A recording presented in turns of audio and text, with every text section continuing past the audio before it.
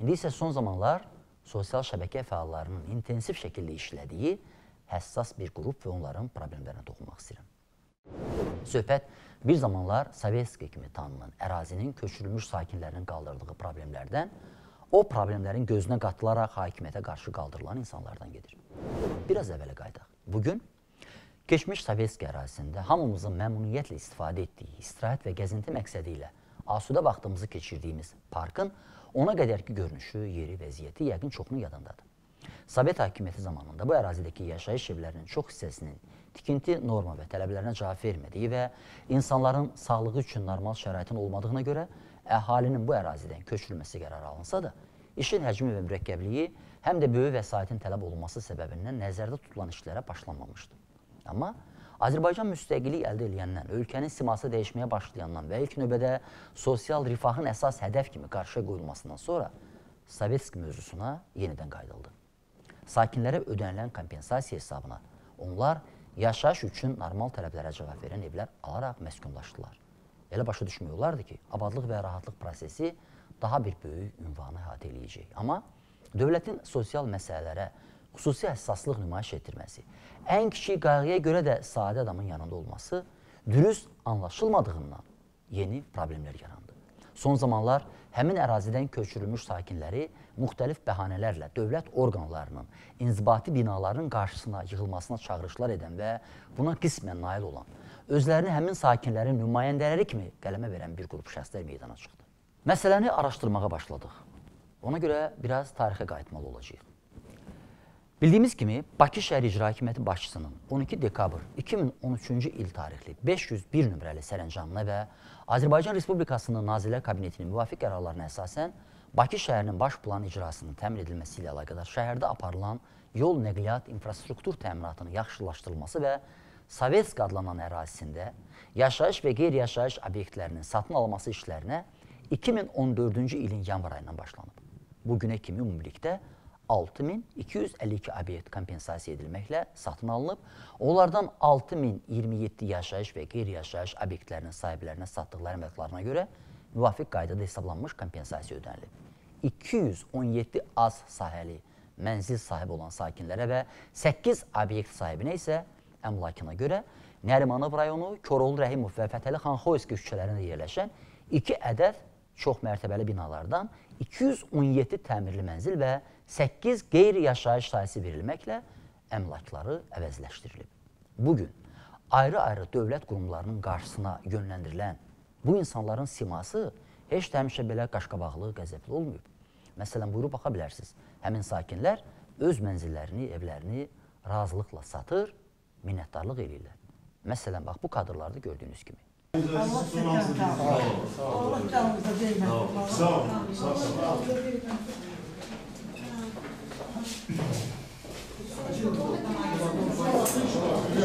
Просто, чтобы люди знали, что вы как Фамилия Сәдет İskender. Şahsiyetin adı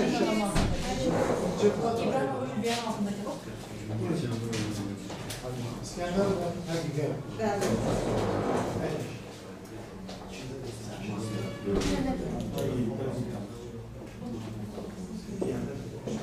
Həqiqət xanım, Bəli. bax sizdə deməli əvvəl biz sizin evinizin sahəsi 11.8 idi.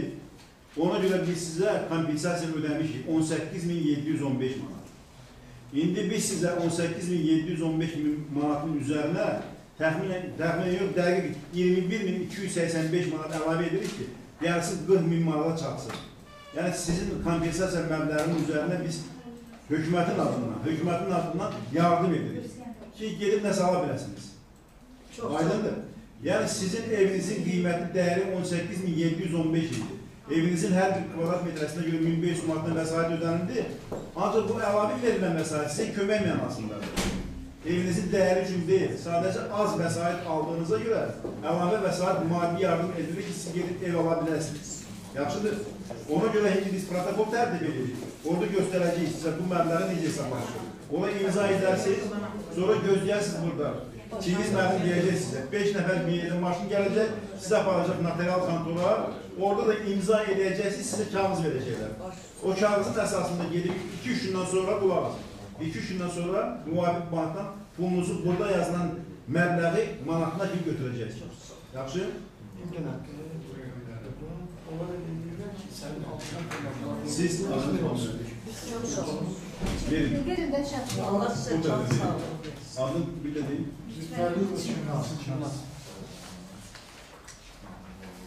Neçə kvadrat? Neçə kvadrat verirsiz? 20. Belə qiymətli kadrlar bizdə çoxdur. Demək olar ki, aparılmış bütün danışıqlar, bütün razılaşmalar bu qaydada qeydə alınıb. Hər kadrda da razı insanlar, anlayış, hətta zarafatlar belə.